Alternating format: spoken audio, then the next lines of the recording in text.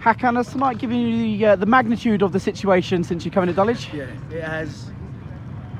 It's an eye opener, but you know we can't miss so many chances. Like we had seven or eight great chances, and I'm talking about in the six-yard box where we should have done a lot better. But you can't defend like that.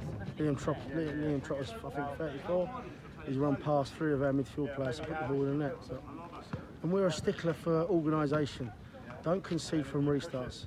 We've conceded from three free kicks that we've given away that we shouldn't have. One in, one in the last minute of the first half, one in the uh, early on in the second half. Crush, why are you fouling?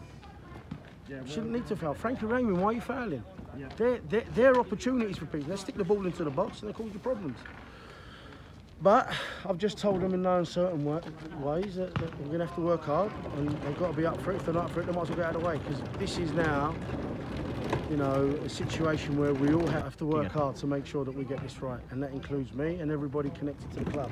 The effort and desire was there, but we just we, we need to get a bit more resilient. Was it disappointing as well by the fact that we capitulated a little bit because we, when the second goal went in, we conceded again straight away after Yeah, that? but it was a restart. It was a restart, and the restart was a second goal. What, and Crush has played for me before. Why are you giving away a free kick? He's given away a free kick and they've scored. You don't give away free kicks then. You, you, you're giving them an opportunity to put the ball into your box to score, and that's what happened. And we didn't win the, the second phase, and they got it from there. But the chances that we had, if- that was any other day, we'd probably score four. It was a little touch. I mean, Gio made his debut today, he twisted his ankle, but he had two great chances in the six-yard box in the first half. Josh Fuali, Joel Powell, Joe Felix. I mean, these are all in the six-yard box. They're not as if they're outside. Or... Anyway, look, it is what it is. We have to accept it, but we'll get it right. After two games of a training session, have you now seen enough to know wh- which player can do what role and, and, and everything like that? I think, yeah, another training session would, would, would, would be good. And then, obviously, you know, if I've got the resources to bring in, I will bring in.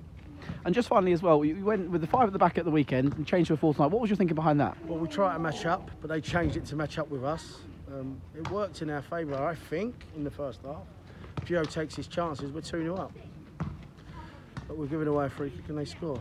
But um, listen, I'm not disappointed with the hard work and in the in, endeavour, I'm disappointed with the mistakes. But that's football, and, and we'll be okay.